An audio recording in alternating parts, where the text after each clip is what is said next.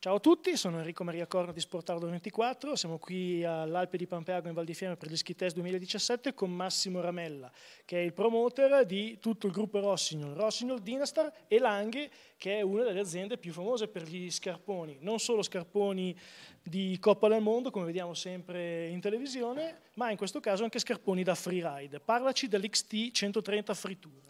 XC130 Free Tour intanto è una scarpa di riferimento, è la scarpa da Free Tour più leggera sul mercato. Eh, fa uh, 1,7 kg nella misura 26,5, la misura centrale di 26,5.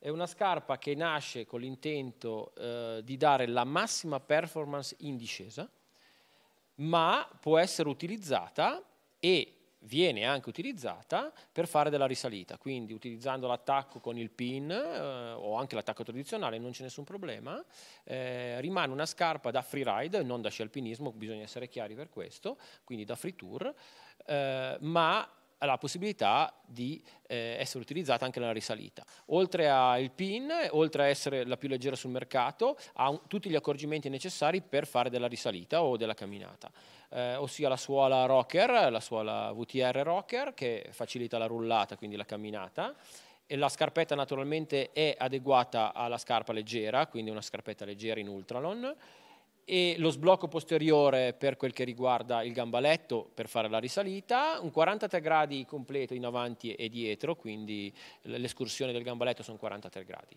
Eh, tutti questi accorgimenti qua, eh, ripeto, vanno in funzione di una scarpa che risale, ma in particolare questa scarpa qua vuole dare la massima performance in discesa. Come è arrivata Lange a ridurre così tanto il peso? Ha lavorato sui materiali o sugli spessori?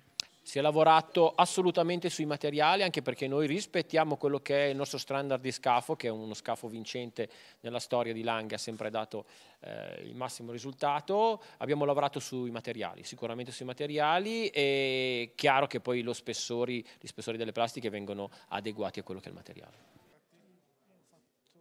Adesso faccio con lui anche Rossi ho fatto Atomic per non muovere sta roba qua? Sì, ah, sì, sì, va bene, dai, sì, sì.